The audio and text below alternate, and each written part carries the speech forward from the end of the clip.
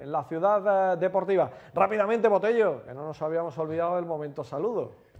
Vale, perfecto. Pues mira, hoy lo vamos a diversificar por todo el mundo porque desde Qatar, Santi Maurano, que nos está viendo, un abrazo enorme compañero, se te echa de menos, a Pedro, que está en Málaga, también nos está viendo, y a Esperanza, que está en Los Remedios. Pues nada, de, de Qatar a Los Remedios, Isidro, y nos quedamos en Roma para ganar.